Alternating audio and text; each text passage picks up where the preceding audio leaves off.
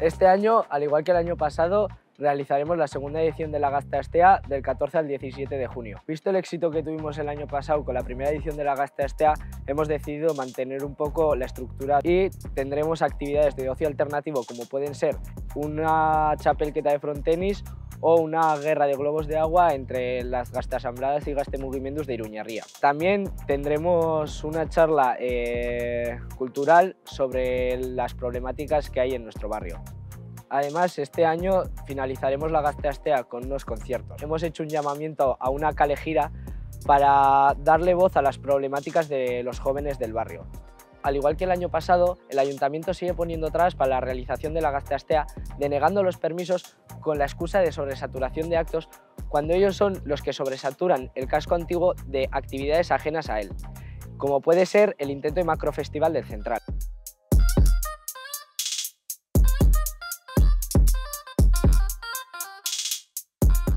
Apirila bukaera nauzoko gazteok irmo lemapean bideratu dutako kanpaina politikoari bukaera emanen diogu eta ekainaren amaseian manifestazio bat eginen dugu horretarako. Dinamika honen bitartez, auzoko gaztelan gilok pairatzen ditugun arazoak salatzea e, dugu intentzio moduan. E, lau izan dira identifikatu ditugun problematika nagusiak. Lehenik, auzoko gazteon erbesteratzea izendatu duguna.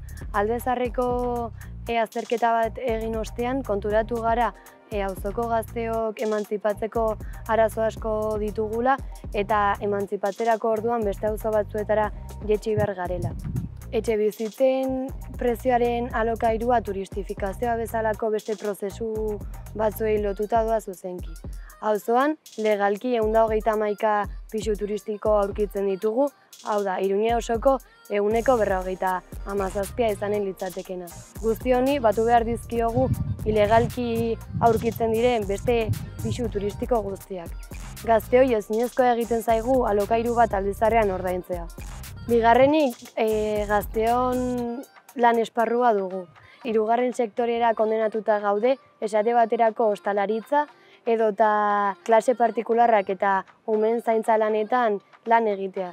Bigarren hauek e, batez ere emakume langileok kolpatzen gaitu. Ostalaritza sektorea den bezala, auzoan erromantizatuta dauden hainbat tabernek egoera prekarioak ere bultzatzen dituzte. Horrekin batera, aspaldi salatzen gabiltza moduan plazen eta kalen privatizazioa dugu. Hasiera batean behin-behinekoak ziren terraza horiek behin betirako bilakatu dira, hauek e, udaletxe plazan edo eta burgoen plaza horren adibide dira, eta espazio publikoak e, irabazi pribatuen eskuetan utzi dituzte. Honi guztiari poliziaren jarrera gehitu behar diogu.